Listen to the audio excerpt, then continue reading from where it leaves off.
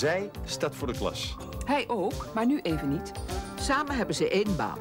Het ene jaar zij, Dus hij nu even niet. prettig geregeld. Zij is geen familie, maar wel kind aan huis. Ook hij is geen familie, maar hij huist er wel.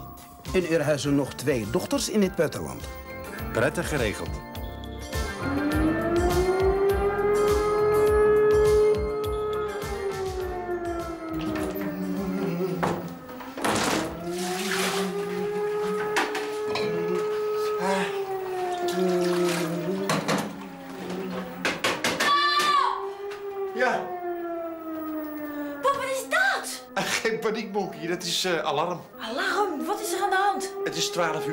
Eerste maandag van de maand, weet je wel. Ah, shit. Oefenalarm. Hé, hey, waar ga je heen? Naar bed. maar het is 12 uur.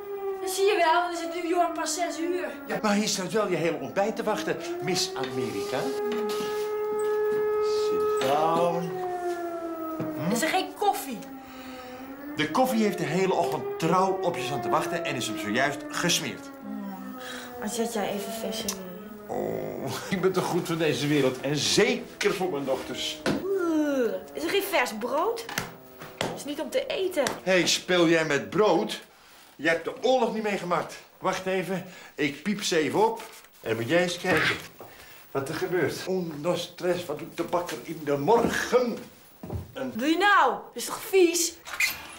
Zeg, jonge dame, je hebt het tegen het hoofd van de huishouding. Van mijn vloer kun je eten.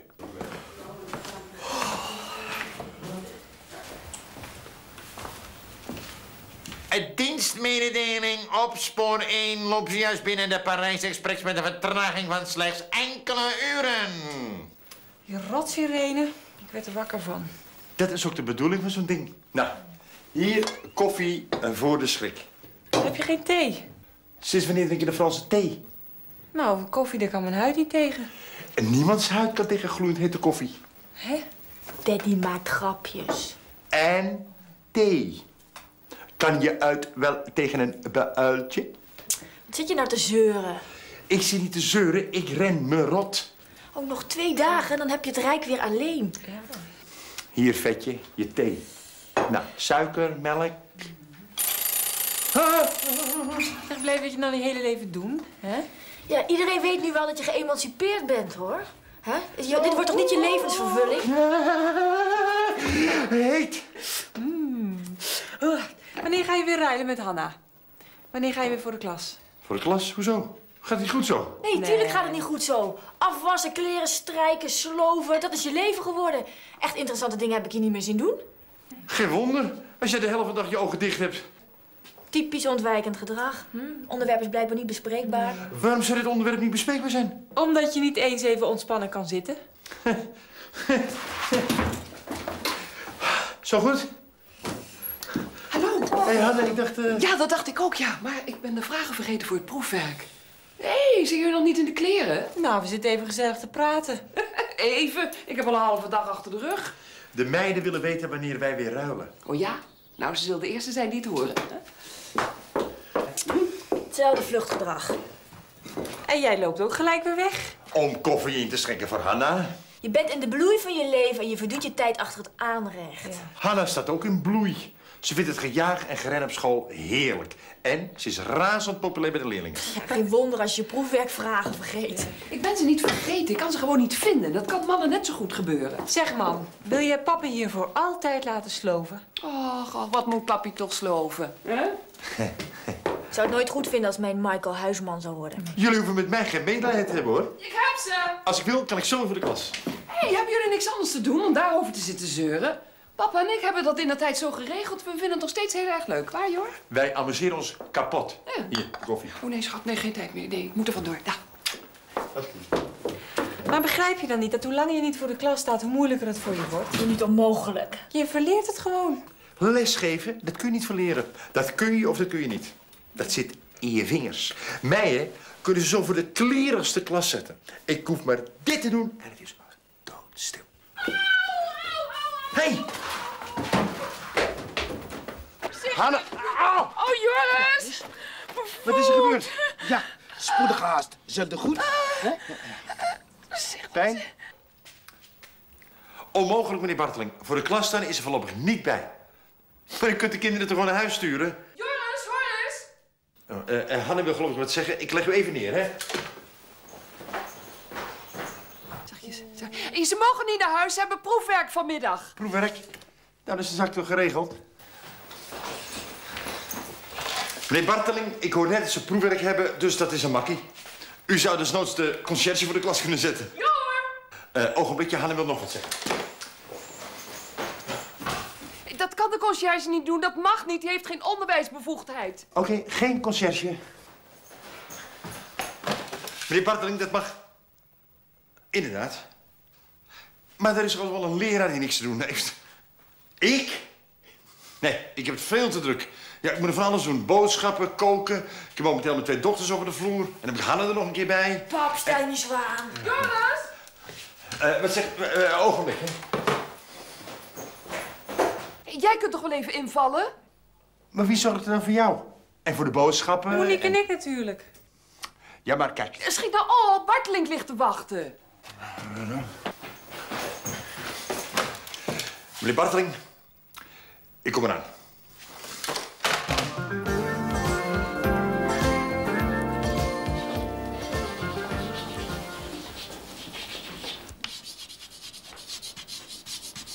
Ik waarschuw even, ik heb oog in mijn rug, hè? Ja, meneer.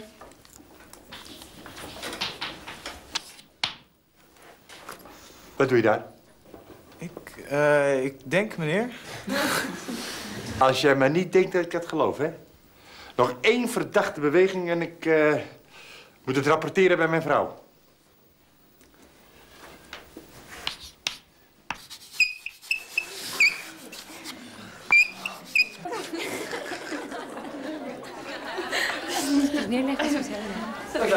Dag meneer Huisman, bent u weer terug? Ja, maar het is maar voor even, hè, dus geniet ervan.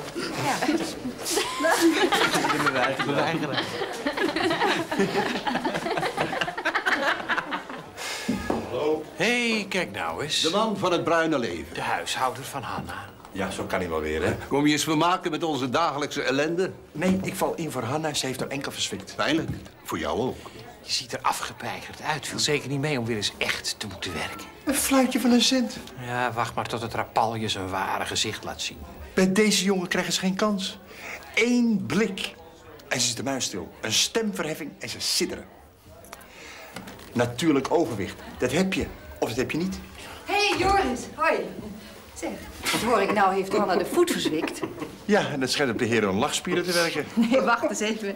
Je hebt iets op je rug, geloof ik. Ja, hier. Kijk. Huishem. Oh, nou, dat moet na de les gebeurd zijn. Toen heb ik nog even wat ze napraten. Geeft toch niks? Een mens heeft nou eenmaal geen oog in zijn rug, hè? Nee.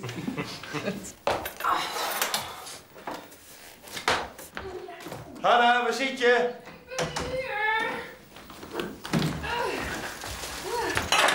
Wat ga je doen? Ik ga thee zetten, ik stik van de dorst. Oh, nee. Nou. Jij moet op de bank liggen. Voor het voorspoedig herstel. Au! Kom op. Au! Voorzichtig! Ja. Au! Nou! Nee, dat lukt wel. Hey, ik wil thee. Krijg je. Waar zijn die meiden? Even boodschappen doen. Hadden ze niet eerst thee kunnen zetten? Ja, drie uur geleden had ik nog geen dorst. Drie uur. En al die tijd laten ze jou je lot over. Nou, ik deed toch een dutje. Ja, praat er nog maar goed ook. Je verwendt ze te veel. Nou, moet jij nodig zeggen. En je ziet waar het toe leidt, hè? Ze laten je omkomen. Oh, gelukkig heb ik jou nog, hè? Begrijp je? Even een kusje op zere voetje.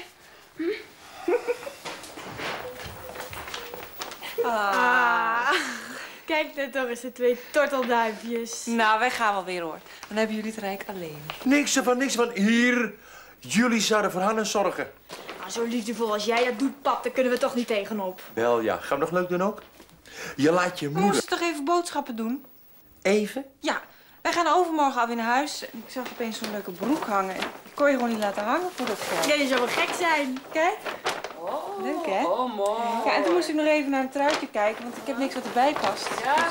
En dit?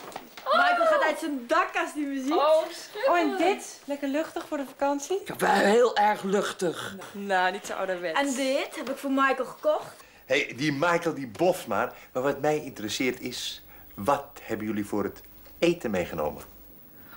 Oh, zie je wel, ik zei het nog. We zijn het vergeten. Afschuwelijk, die arme Hanna. Was ik dan maar niet naar Den Haag gegaan? Zij had het zien, hè? Loop ik daar gezellig te winkelen, terwijl zij... Was ik dan maar thuis gebleven. Dan was het net zo goed gebeurd. Ja, maar dan was ik er tenminste bij geweest. Ja, gezellig. Dat had ik er toch kunnen helpen? Ja, maar wij waren er toch? Oh ja, natuurlijk. Zeg, en hoe gaat het nou? Want ze kan natuurlijk niet naar school. Joris valt voor erin. Oh ja? Doet hij dat? Verbaast je dat? Eigenlijk wel, ja. Ik dacht, hij gaat nooit meer naar school. Dit leventje bevalt hem best. Nou, wat zeg ik je? Dat is toch geen baan voor een man van zijn leeftijd? Kind, je hebt groot gelijk. Maar zeg het hem eens. Ja, dat hebben wij vanochtend nog gedaan. En? Ja, daar gaat hij niet serieus op in. Hij gaat nergens serieus op in. Heb ik jou verteld dat Michael iets voor zichzelf gaat beginnen in New York? Nee. Ja, dat gaat hij dus doen.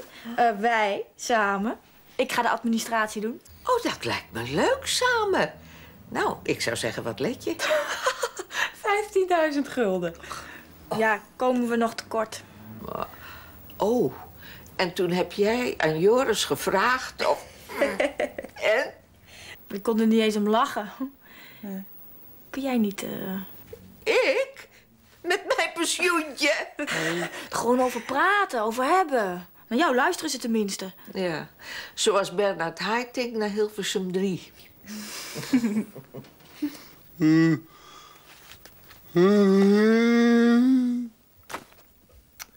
Wat moet ik nou morgen precies met ze behandelen? We beginnen hoofdstuk 6. Van tam-tam tot satelliet. Tam, tam. Ja, over de massamedia. En moet ik ze nog huiswerk opgeven? Zeker, ja. Voor volgende week hoofdstuk 5 over communicatie en interactie. Was ik net mee klaar? Hoofdstuk 5.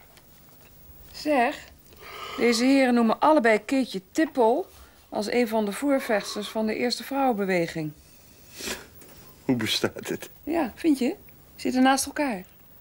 Aha, fraudeleuze samenwerking. Ja, en jij hebt ze niet betrapt. Niet nodig. Ze tippelen er zo ook wel in. Ja, ja.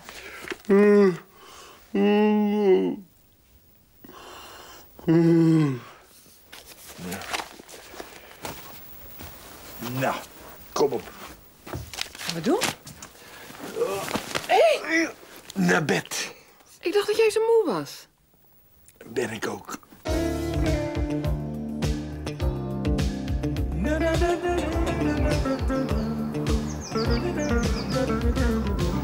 Nou, hier, zit. Ja, zo. Je, je kan veel beter helemaal gaan liggen. Ah, nee hoor, ik ben niet ziek. Nee, maar heb je er niet een krukje of zoiets om dat been op te leggen? Ja, op zolder misschien. Moeten de meiden straks maar even naar zoeken. Ja, vooruit. Mag ik? Oh ja, ga je gang. Zo. Ik heb gisteravond zo gezellig bijgekletst met de meiden. Leuk, hè, dat Monique voor zichzelf begint. Monique, Michael. Ja, ze doet toch ook mee? Nou, ik vind het maar wat flink. Nou, ik moet het eerst allemaal nog zien hoor. Ze missen nog 15.000 gulden. Die moeten toch wel ergens te vinden zijn. Ja, vast wel. Nou, zo zie je maar. Al die verhalen dat er niks meer bij zit bij de jeugd tegenwoordig. Allemaal flauwekul. Zo is dat. Als ze nu en dan eens een steuntje in de rug krijgen van een volwassene, hè? Ja, natuurlijk. Nou, in Amerika voor jezelf beginnen, dat is lang niet gek. Het land van de onbegrensde mogelijkheden. Nee, dus we hoeven ons helemaal geen zorgen te maken. Hè, die 15.000 gulden vinden ze thuis wel. Ja, als je het zo bekijkt.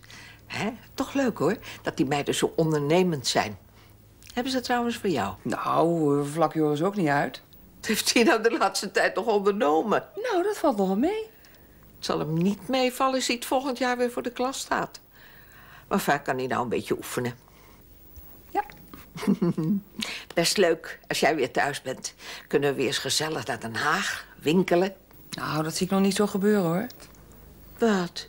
Niet naar Den Haag? Ja, wel Den Haag, maar dat thuis zijn. Oh, ruilen jullie dan niet meer? Nou, wat mij betreft niet, nee. Ach, Ach, wat? moet die arme Joris zijn leven verder in huis vullen? Nou, als hij er nou gelukkig mee is. Ik ga ze gelukkig heus niet in de weg staan. Hij boft toch maar met zo'n begrijpende vrouw. Nou, zo, dat was het weer voor vandaag. Als we even allemaal de agenda strekken, dan kan het huiswerk genoteerd worden. Hey, eh, hey. Hey, eh, ogenblik graag. Wel is gegaan, meneer. Ja, eh, voor de volgende keer hoofdstuk 5, communicatie en interactie. Een heel hoofdstuk? Uw vrouw geeft nooit zoveel op. Dit is voor mijn vrouw. U mag allemaal geen huiswerk opgeven. Zeg, eh, vriend... eh, We hebben een huiswerk vrij weekend.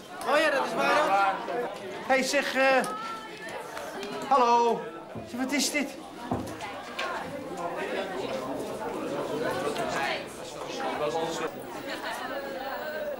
Zo, heeft het rapalje zijn ware gezicht laten zien?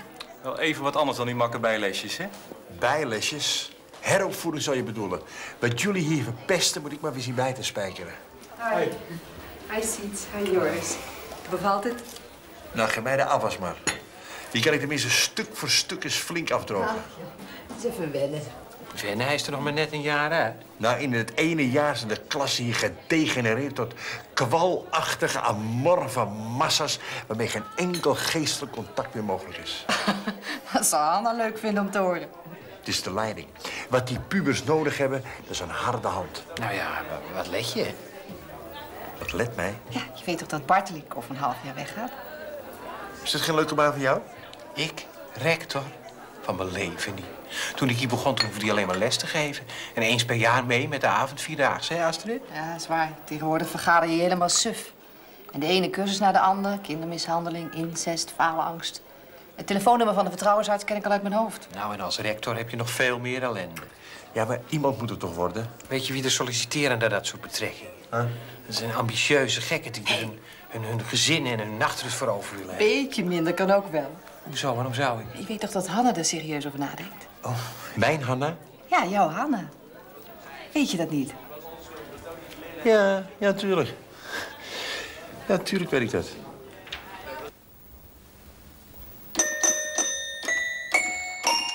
Al die oude tekeningen. Jopie. Oh, Jopie. Anke. En Henk van der Beek. Hé, hey, kijk eens. Liesje. Hey, hoe is het met je? Oh, oh, je voelt nog net zoals vroeger. zeg, en vermaak jij je hier nog een beetje op zolder? Nee? Oh, nou, wat zou je dan van zeggen om eens gezellig met mij mee te gaan naar Parijs? Hè? Hé, kijk eens. Ah, mijn televisie. Jouw televisie? Ja, dat zei mama altijd, dat ik televisie zei. Weet je nog dat we ons kotsmisselijk uitgedronken hebben? Oh ja, met die limonadesiroop. Oh ja. Oeh, dat ruikt nog net zoals toen. Hé, hey, kijk, die hebben we ook nog. Dag, kinderen. Hebben jullie Jan Klaassen soms gezien? Nee, nee. maar wel jouw poesiealbum. Oh, geef eens, geef eens. Twee open oogjes, een hartje van goud, een zuiver geweten. Zorg dat je het houdt. Tante Trees. En heb je het nog? Oh, dat gaat je niks aan. Oh. Jeez. Mijn postzegelalbum. Dat was toch van Joris? Eerst van opa, daarna van Joris en toen van mij. Oh, ik heb nog een paar jaar gespaard. Je dat ik er nog zoveel had? Dat zou Michael leuk vinden om te zien. Hij spaart ook stamps. Hé, hey, wat zou hierin zitten? Ik krijg hem niet open. Wacht eens.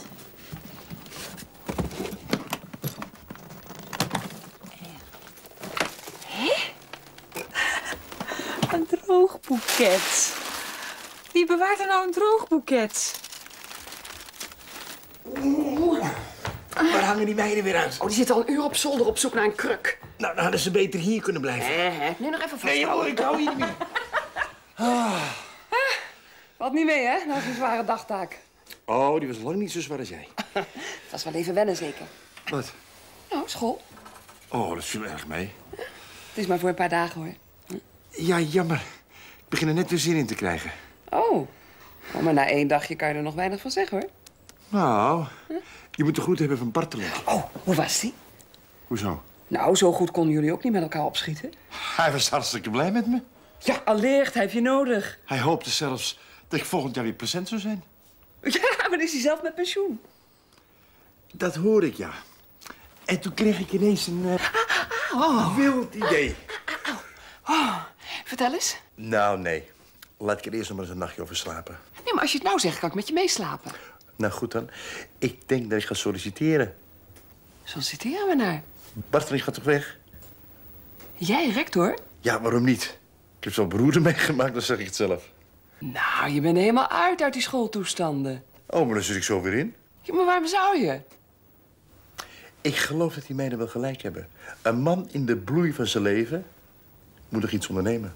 Ja, natuurlijk, maar ondernemen iets leuks. Waarom zou je al die zorg op je hals halen? Zo leuk is het op het ogenblik niet, hoor, in het onderwijs. Dan maken we het toch leuk?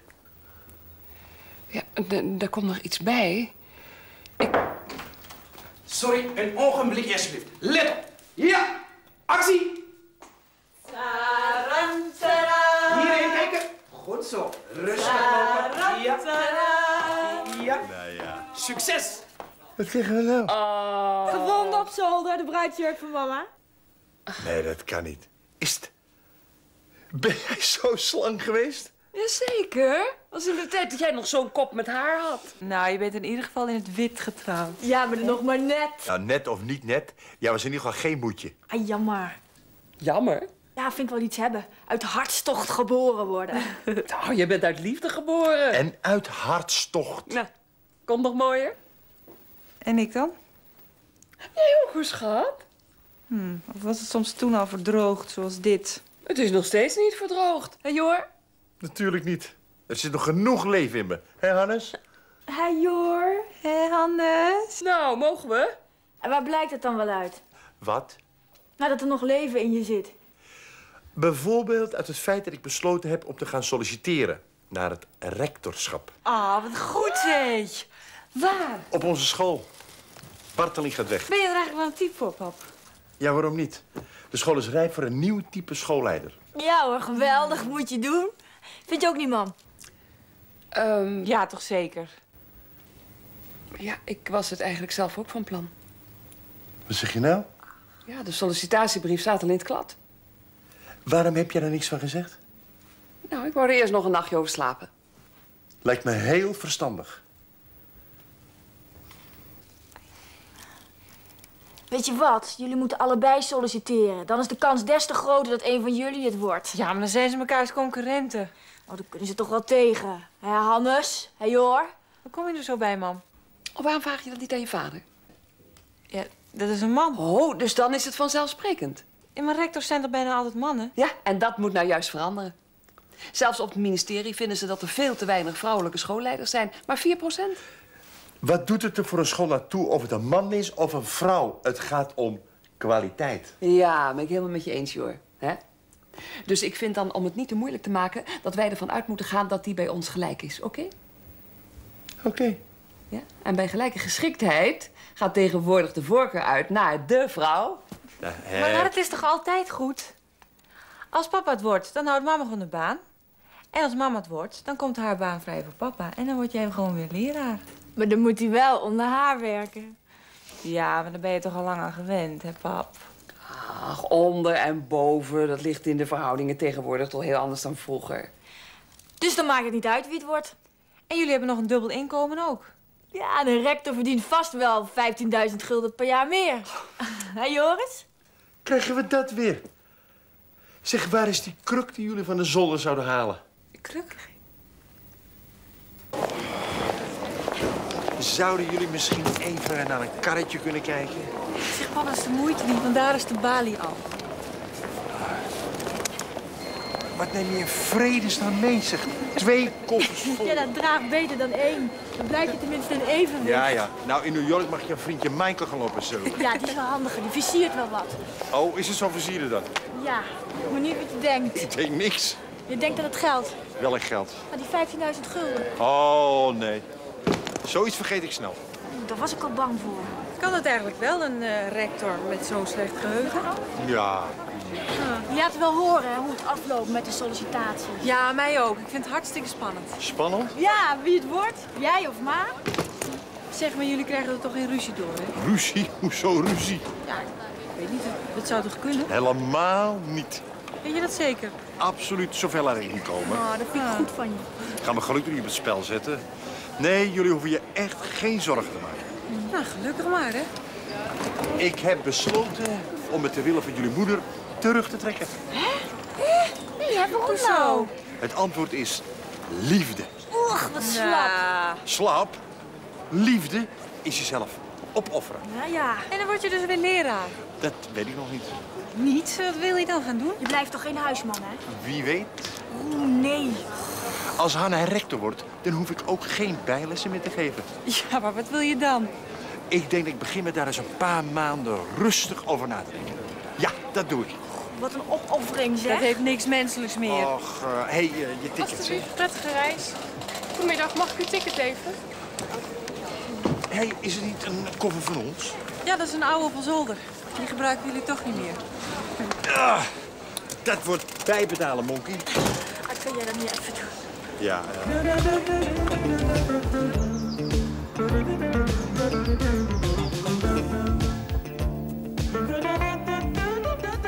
Ik heb nog nooit zo'n leuke bruidsreportage van Hassan gezien. Mevrouw de rector, ik ben het volledig met u eens. Uw koffie, mevrouw de rector. Wilt u misschien nog een bonbonnetje erbij, mevrouw de rector? Ah, hou er nou zo voor op. Het duurt nog maanden en het lukt waarschijnlijk toch niet. Ho, ho. Laat ik niet merken dat mijn persoonlijke offer te vergeefs is geweest, hè? Wat zoek je? Dat Dellens blauwe bonbonschaaltje. Tweede plank rechts. Ja, daar staat het niet. Oh, nou dan is dat waarschijnlijk ook al vertrokken. Richting New York. Ja, of Parijs. Keizersstandaard achterna, of het zandlopertje, of de LP van Andreas Vollenweider, of... Oh, nee, ik denk toch even.